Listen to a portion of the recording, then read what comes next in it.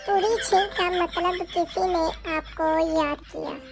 और जो छींक आधे रास्ते में रुक जाए तो समझ लेना किसी ने आपको याद किया, मगर दफ़ा करो कहकर टाल दिया।